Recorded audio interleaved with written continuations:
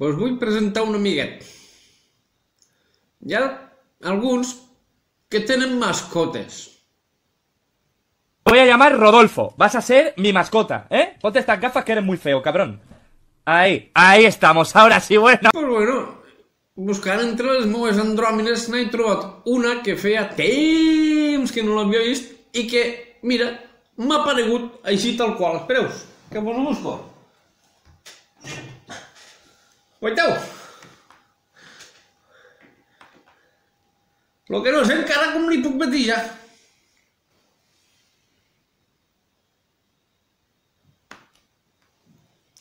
Bueno, hermano, te posaràs bé o què, xec? Te mouràs o no et mouràs?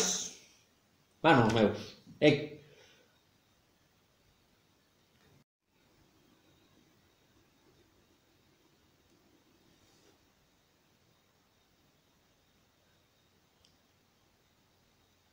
I es mou i tot.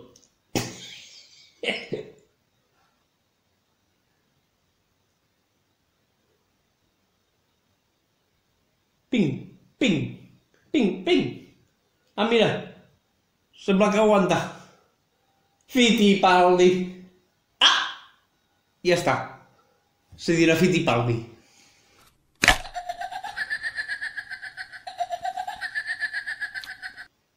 Després de diversos intentos d'haver-lo posat, al final he aconseguit que estigui per aquí i ja buscarem un puesto i au. Vinga. Tu, quieto ahí, que fa massa rato que et menges, eh? Fittipaldi. Comencem el nostre tema. Il titulo Teories conspiranoiques.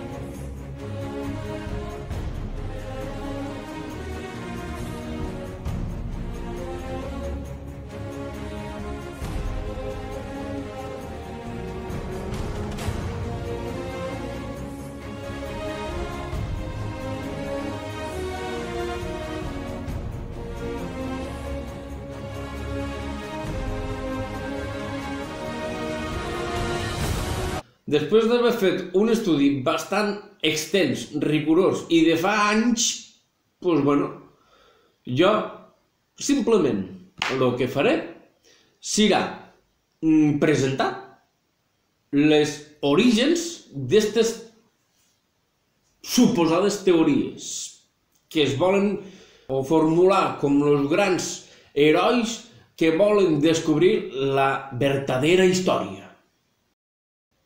La primera de les teories que volia compartir amb tots vosaltres és potser la més coneguda que hi ha entre tots i és la que hi ha entorn de la figura de Jesús de Nazaret i la seva relació amb Maria Magdalena. Poc cap dels historiadors ni arqueòlegs actuals que tenen el seu prestigi i han fet els seus estudis a base i base d'anys, fins i tot biblistes en renom, que de moment desmentixen aquesta teoria però és que n'hi ha alguns que no sé d'on se trauen això, esta teoria de que si esta parella, si Jesús de Nazaret i Maria Magdalena es van casar i van tindre fills. Això és el tema principal de l'arxiconeguda novel·la de Dan Brown, El Código da Vinci. On comença, on està els inicis, perquè el motiu d'aquestes mm, xerradetes que farem si vindran en aquest sentit. És a dir, on comencen aquestes teories perquè n'hi ha tanta i tanta i tanta informació i tan enrevessada que m'ho faríeu creus. O em faríeu creus. Mm, començarem en esta. us dic un nom. Se diu Pierre Plantard. I quedeu-vos en esta imatge.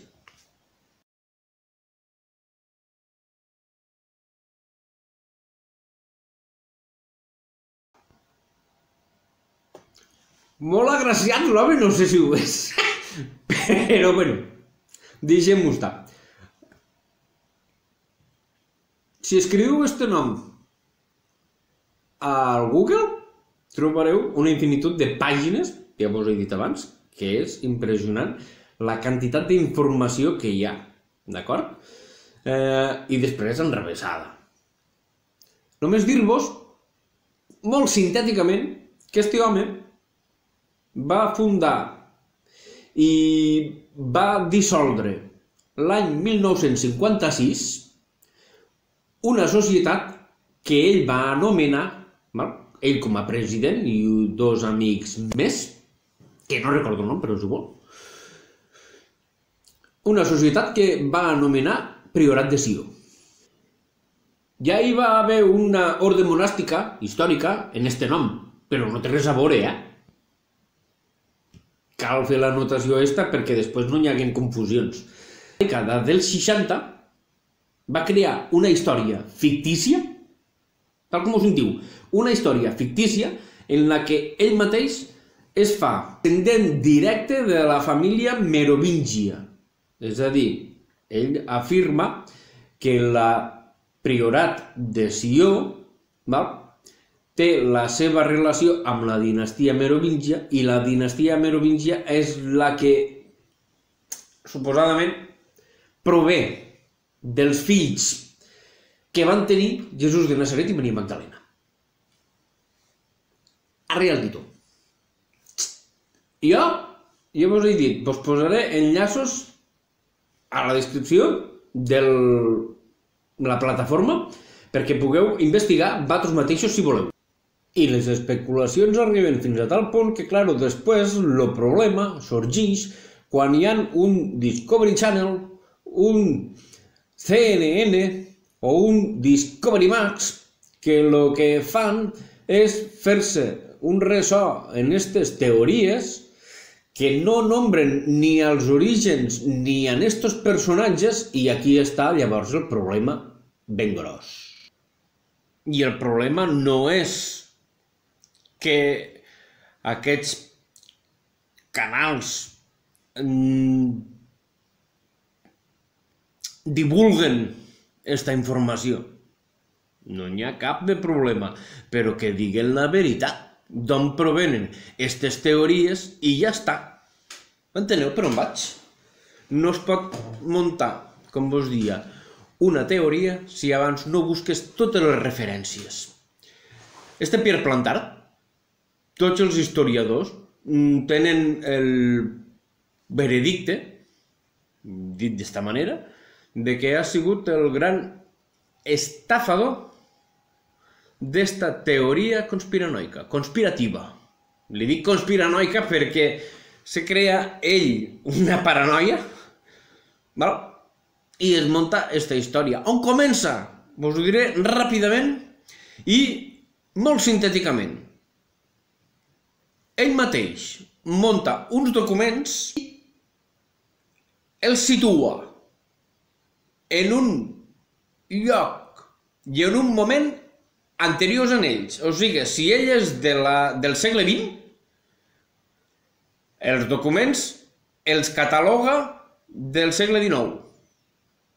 I vos dono un nom i un, una referència, perquè també ho posaré aquí a l'enllaç a les descripcions. Busqueu Berenger Sonier val? i René Chateau. Què tenen que veure això, este, este, este nom, en, la, en Pierre Plantard? Berenger Sonier va ser un capellà d'una parròquia de França que als inicis del segle XIX, no del segle XX, als inicis del segle XIX, viuen que eh, es va fer ric d'una manera misteriosa. Este misteri se troba quan hi ha suposadament uns documents que acrediten que allí hi ha tota una llista del, dels, del priorat de Sió enllaçat amb la dinastia merovingia i aquí hi ha una informació perquè vosaltres mateixos hi aneu. Vull dir, hi ha una... Els historiadors t'has haver analitzat tot lo relacionat en el priorat de Sió indiquen que l'antiguitat dels escrits que hi ha no són verídics. Arribant a la següent conclusió. Els manuscrits presentats per Pierre Plantard indicant que provenien d'este capellà Berenger Sonier i que els havia descobert a la seva església René del poblet de René le Chateau, val? estos escrits havien, havien estat escrits pel mateix Plantard i el situa un segle anterior a ell. No quadra. Des del mateix Wikipedia. Diu així, Plantard manipuló las actividades de Sonier en René Le Chateau para demostrar sus reclamaciones relacionadas con el priorato de Sion. De este modo se calcula que entre 1961 y 1984 Plantard habría inventado el linaje legendario del priorato de Sion, surgido de los restos de la Orden de Sion. Otra razón para señalar como falsa la antigüedad del priorato de Sion sería el propio registro del priorato el 20 de julio de 1956 en el Boletín Oficial de la República Francesa ya que si presentara la antigüedad pretendida, y con ello un gran poder no habría tenido la necesidad de registrar su orden de nuevo. Tota una història montada para que el mateix Iker Jiménez faci també un, un, una investigació per a buscar misteris del passat. I ja per acabar, com a última reflexió, Vago, estic agafant també la informació del mateix Wikipedia que us posaré també aquí l'enllaç. Els objectius últims del priorat de Sió serien la fundació d'un sant imperi europeu que es convertiria en la següent superpotència i el promotor d'un nou ordre mundial de pau i prosperitat. La suplantació de la Iglesia Catòlica per una religió estatal, ecumènica i messiànica, gràcies a la revelació del Sant Grial i de l'Evangeli de Judes, que demostraria les causes dels seguidors de Joan el Baptista i posaria a la llum pública als descendents de Jesús i Maria Magdalena. I la reinstauració del rei ungit del gran Israel, el descendent del rei David.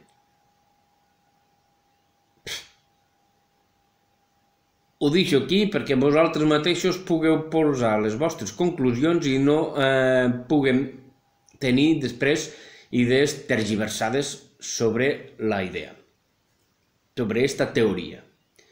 Aquí ho deixo. Gràcies per la vostra paciència, per escoltar també esta teoria que us he compartit. Si us ha agradat, feu un like, i si em voleu que em faci una altra... Ping, ping! Campaneta.